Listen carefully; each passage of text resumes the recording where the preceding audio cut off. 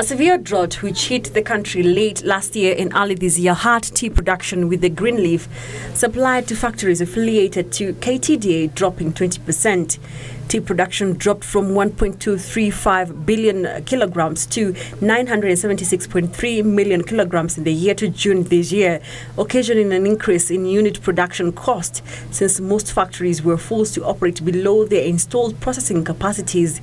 Kenya Tea Development Agency CEO Lerionka Tiampati says, and I quote, despite the low volumes, a majority of the factories paid more per kilogram of green leaf compared to last year, which was driven by fairly good prices for the second half of the year at the international markets as well as improved efficiency in well-managed factories, end of quote.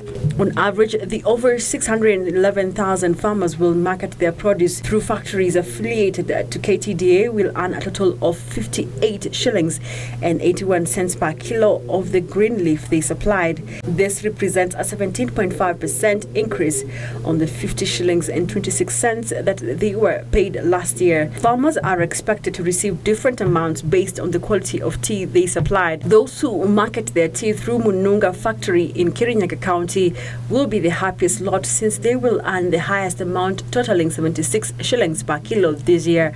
On the other hand, those who sell their tea through Kapsara factory in Trans Nzoia County will earn the lowest amount totaling 35 shillings per kilo. The farmers are reaping from improved prices after a kilo of processed tea on average fetched 314 shillings this year, up from 300 shillings last year. KTDA says it takes about four and a half kilos of green leaf to process a kilo of made tea.